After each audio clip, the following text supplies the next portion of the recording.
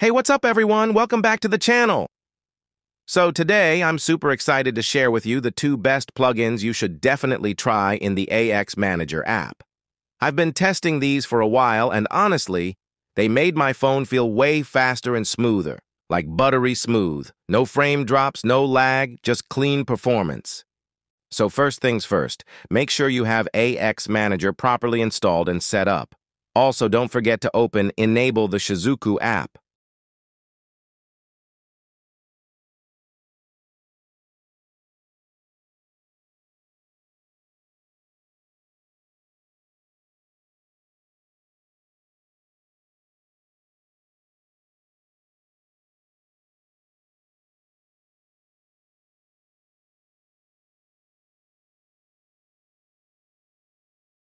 Once you're inside the app, head over to the plugin section. This is where the magic happens.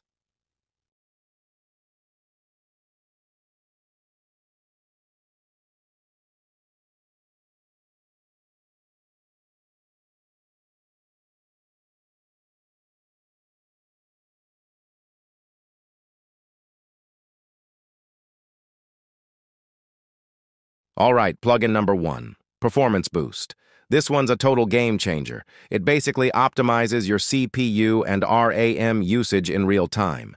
What it does is free up unnecessary background tasks and gives priority to the apps you're actually using. After enabling this, I noticed that switching between apps became super smooth, even on heavy apps like YouTube, Chrome, and mobile games. It also helps during gaming sessions. You'll see less heat and more consistent frame rates. I've been using it for a few days, and honestly, it made my mid-range phone feel like a flagship.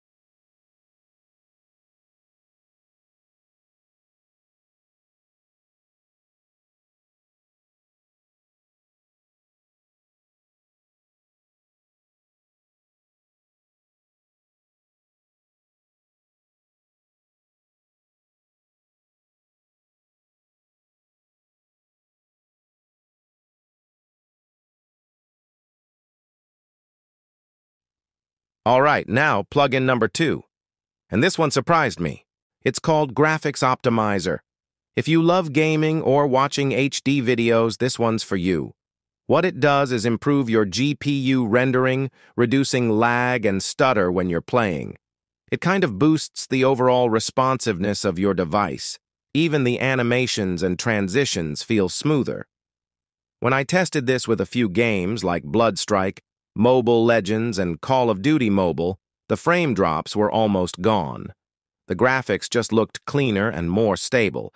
It's a big difference once you try it.